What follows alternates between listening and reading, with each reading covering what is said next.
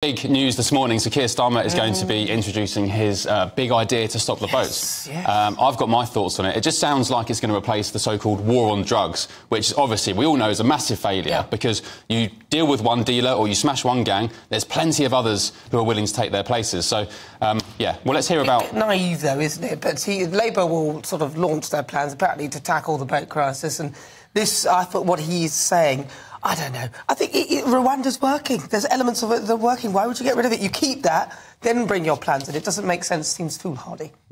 So he's going to unveil, Sir Keir Starmer, stronger new counter-terror powers uh, that will effectively treat people like. Uh, sorry, people smugglers like terrorists. And his plans will be supported by around about a thousand additional officers, so more bureaucracy uh, by MI5. And of course, they'll scrap the Rwanda plan, which we mentioned altogether, which seems uh, madness if it's working, but, uh, you know. But can either party tackle the small boat crisis, the Tories or Labour? Joining us now is political editor of HuffPost UK, Kevin Schofield, and political correspondent at The Spectator, James Heale. Good morning to you both. Uh, Kevin, let's go to you first. Uh, as I was just saying to Nana, it kind of feels like Sir Keir Starmer's pending announcement will be similar to the war on drugs, where you kind of ignore the people actually crossing the channel and you go after the smuggling gangs. But you crack one gang, another is just going to appear. All the meanwhile, the boats will continue crossing. Yeah, I mean, it's a massive challenge. You know, the government has wrestled with this for a long time, and yet this year uh, the number of crossings is up on last year, uh, despite the Rwanda bill being being passed. So, yeah, Labour have obviously made it very clear since the very beginning of the Rwanda policy that they were against it. They will scrap it if they win the next election. And uh, yeah, now they've come up with their own plan. I mean, we'll have to wait and see. It, I wouldn't say it's a silver bullet. I don't think a silver bullet on this problem actually exists. Um, I guess it's worth a try. Um, and if you're going to cancel Rwanda altogether, then you've got to come up with something. I just wonder whether there'll be more detail in the actual speech. What's been trailed still seems a little bit thin to me. Uh, James, what's your thoughts on it? Do you, do you think Keir Starmer is on, on the right path with his plan? Well, I mean, you know, the Labour likes to talk about smashing the criminal gangs as if the Conservatives aren't also committed to that. Uh, you know, I think, look, we can have a discussion around the powers and additional funding that goes towards that. I mean, that's, you know, it's difficult to argue against that. But, uh, you know, the idea, for instance, that the government uh, isn't committed to doing that, you can argue they're not doing enough, but they're certainly trying to tackle the people smugglers, um, is, you know, a fallacy. I think the interesting thing really is the way in which uh, Keir Starmer, with all these different problems, tends to come up with the idea for a sort of new body. So, for instance, he's announced this new border security commander, uh, border security commander, new force. I mean, that's not too dissimilar to, I think, what Rishi Sunak announced two years ago with the small boats operational command. So I'm really not too, too, too sure, other than Rwanda, what the real substantive differences are going to be uh, in an election. So as Kevin says, we need to see more detail. Um, but I think it's an interesting choice of Kevin of Keir Starmer to always go for a kind of new body. I think in some ways he is a bit of sort of Mr. Blobby. He's a he's a very politician who likes the blob in the kind of way in which he chooses to address these difficult uh, issues. And I think that's a, a definite breach for the Conservatives. So I'd be interested to see how that will work out. Well, yes, so. Bureaucracy, isn't it? More bureaucracy, more people, a thousand more people, he's saying. Yeah, well, D- Dominic Cummings wrote an interesting column today about the fact that he reckons Sir Keir Starmer will just be ordered around by the civil service. He just loves being told what to do. But Kevin, uh, Sir in his speech later today, we're going to bring that to you live just after around 10 o'clock. He will say that it, they're going to rely on closer cooperation with the European Union. But we already send France half a billion a year to stop the dinghies. Um, some great exposés by the likes of the Sun newspaper have shown that, in actual fact, all the, the workers meant to be stopping boats on the French beaches are down at the local working men's club sinking shots. So we can't trust the French. The rest of the EU, let's be frank, hate us. How uh, is the Labour government going to change that? Well, I guess he will hope that um, European I thought we've lost you. look at his own frozen. track record. Clearly, he was against Brexit. He campaigned. Oh, sorry. Can you hear me now? Yeah, you're back on. Carry Hello? on. We're listening. Sorry, sorry, yeah. Um, so they'll look at his, his uh, track record of opposing Brexit, of working to try and get a second referendum, if you remember when he was shadow Brexit secretary, and they will think maybe this is a guy that we can work with in a way that we can't work with a Conservative government who introduced Brexit with a Prime Minister who supported Brexit. I guess we've got to hope that there'll be just a change, change of vibe really between uh, Europe and uh, the UK if there is a Labour government. But again, it does put you in the hands of the EU. It, it's pretty much up to them whether they want to work with us. And you make a very good point there. I remember last year when Rishi Sunak struck this new deal with France. Um, And yet, here we are, as I said earlier, the, the number of crossings are going up, and yet we're spending, sending an awful lot of money to the French government. So, yeah, but you could thus say far, that. nothing has worked. You could say So, that about the relationship with Boris Johnson and Macron and the French, but you can't really say that about Rishi Sunak. He's got a good relationship with the French already. I, I have a feeling that Keir Starmer is slightly deluded on this plan because it sounds to me like a lot more bureaucracy.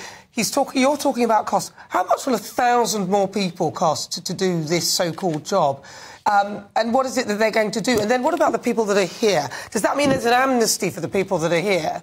Because won't he need a third country anyway? I mean, that's to either of you, James. I mean, won't he need it? He'll need it. Well, the danger is, of course, you know, uh, Labour likes to say we're going to clear the asylum backlog, but of course, that that obviously means are you going to accept those people? If you accept them, the Conservatives will say, well, that is an effective amnesty for illegal migration for coming here illegally. And if you don't accept them, where are you going to send them? Uh, and this is the kind of big issue with migration, which is that it's not sort of, you know, trying to stop people before they arrive. It's once they're here, what do you actually do with them? Uh, and I think Labour will have to make those difficult choices about either choosing to give an effective amnesty or choosing where to send these people. I think you touched on a really interesting point just slightly before this, which is about Europe. And of course, I think it's worth the Conservatives keep making the point. Europe is having this a lot worse than us. There are a lot more crossings to the Mediterranean to Italy. So my question is, why on earth would the Europeans want any kind of deal that would involve, um, you know, them taking our people, our rivals, but we don't take any of theirs? I think that they have it much worse.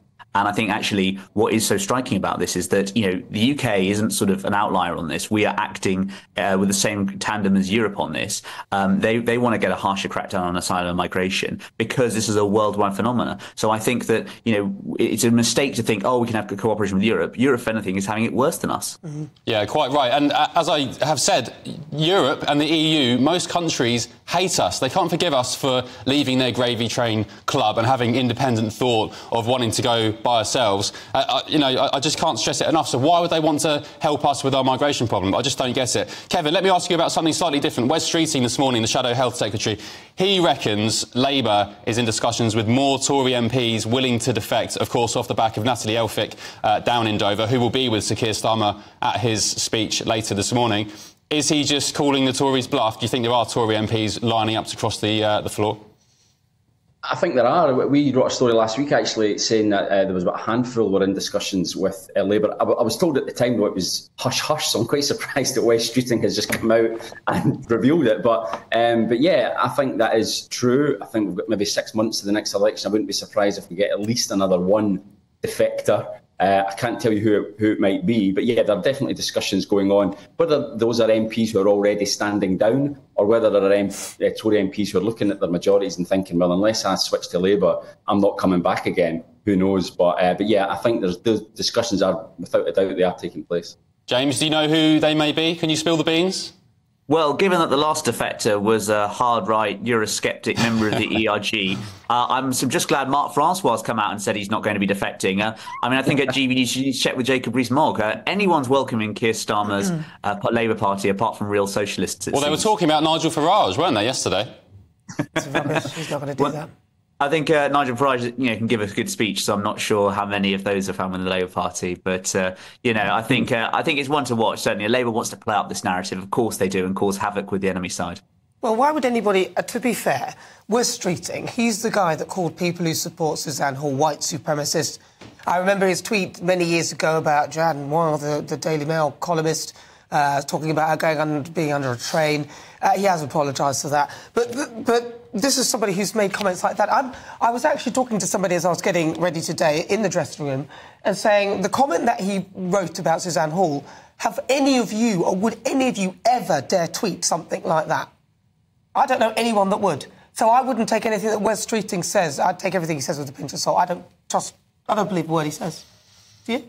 Would you ever tweet anything like that? I, I was a big fan of Wes Streeting up until a uh, about around a month or so ago when he stood at the dispatch box. Kevin, I'm not sure what you make of this. He stood at the dispatch box with his Labour MPs behind him, laughing at the fact that NatCon event in Brussels was being shut down. A total attack on free speech, which anyone from the right, if it happened to their adversaries on the left, would call out straight away. You know, I don't agree with you, but I respect and will fight for your right to say it. But Wes Streeting giggled like a juvenile schoolboy, and then, of course, he had the tweeting incident as well. I just don't know what's wrong with him.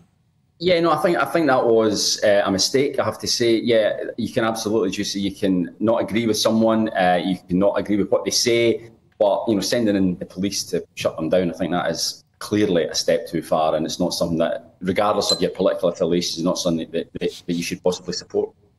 James. Yeah, absolutely. I think Wes Streeting is very talented in lots of ways, but sometimes he's a bit uh, intemperate with his language, and I think he got a bit carried away at the dispatch box, and I think that tweet was poorly judged. But it's should we look deeper into it yeah. because Sir Keir Starmer says the, the, Labour Party has changed, but clearly, clearly they haven't. I mean, it's it's almost student gutter politics that kind of thing. And I spoke to a couple of Labour MPs since and said, do you back, I mean, Jonathan, Jonathan Ashworth earlier this week, I said, do you back or condemn what Wes Streeting says? And he said it was just made in the heat of the moment. Well, why is that acceptable? That's not acceptable. Angela Rayner, what was that whole spiel that Angela Rayner said? Homophobic, misogynistic, banana republic, Etonian, what was it? Racist scum. This is. Scum. If I used yeah. that language on my Twitter feed about anyone, I would be fired. I think I'd be fired, wouldn't you? You know, they would be, talk- be cancelled, yeah. They'd be talking to me seriously about those sort of wordings. I don't get why these Labour MPs in particular are just getting away with anything. I think one well, day. I think, I think Angela Rayner, sorry, James. I think, I think I think Angela Rayner was severely criticised, and I think was quite chastened. Um, and she will not be repeating that again. That's for sure. I think that was very ill judged remark, and I'm pretty sure that she deeply regrets it now. But it will obviously be be brought up again, no doubt, during the election campaign. Yeah. I dare saying it's not it's not the type of language that we want to see in our political debate. But that's only because they got caught out there. That's because they got caught out. This is what, what they're like, and some of them are prepared to say it out loud. So I'm just very concerned about some of these politicians. Last word to you, James. Yeah, I think one day Wes Streeting is going to be standing for Labour leader, so uh, he just needs to watch some of the comments, I'd say. Interesting. OK. Kevin Schofield, James Heale, thanks very much.